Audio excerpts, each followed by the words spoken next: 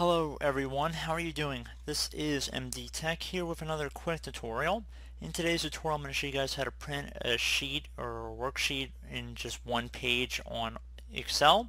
This should hopefully be a pretty straightforward tutorial and without further ado let's jump right into it.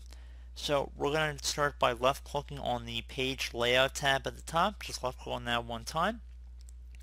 And then you want to go and left click on the area that says page setup you want to left click on this little arrow that expands so expand that.